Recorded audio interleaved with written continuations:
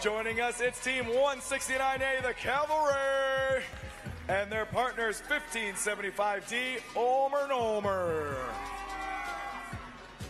Working to make it pretty difficult for them on the Blue Alliance. We've got the Art Division, represented by 2921B Free Range Robotics, and their partners 2911A Binary Blitz, an all Kiwi alliance over there.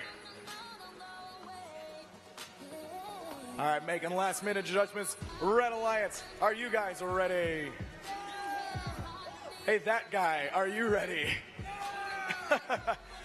Blue Alliance, are you guys ready?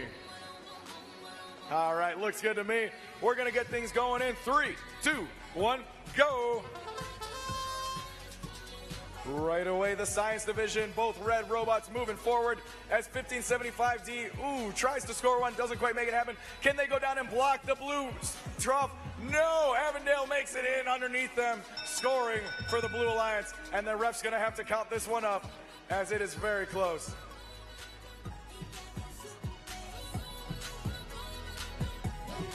And it's going to Red Alliance. Very, very narrow victory for the Red Alliance out of autonomous mode there. Definitely nothing they can't, uh, the Blue Alliance can't overcome. As 29-21 viciously fills up that blue trough, and their partners 29-11 going up for the top goal, and they make it good for 60 points over the Blue Alliance. Here comes the cavalry, though, getting ready to block 29-11. They're protecting that red trough, and 29-21 and 150 stuck locked underneath that blue trough as as the Kiwis desperately try to protect. Big D score. The cavalry comes into town and takes off the blue top scores. That's a 60 point swing for the Red Alliance, potentially more if they can restore next store. We passed the one minute mark, and that outside blue trough continues to be filling up slowly. Here comes 50 75, though, probably trying to do something about that, but no. New Zealand there to close the door.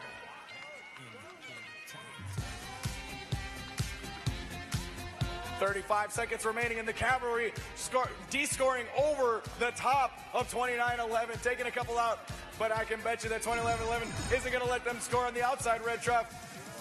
30 seconds remaining, and we've still got a big smash up down there. 1575 and 2921, desperately fighting over that outside blue trough. With not a whole lot of scoring left on the other uh, troughs, that blue trough could swing the match either way. 1575 looks like they might have a grip on it. Five seconds remaining. And the defense from the Kiwis, very effective in keeping 1575, the Omer Nomers, from that blue trough.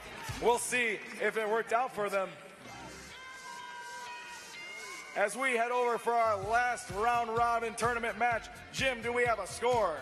Yeah, I think we do, Grant. Let's look at the board with a big win 190 over 66. Technology winning out over science, the Blue Alliance.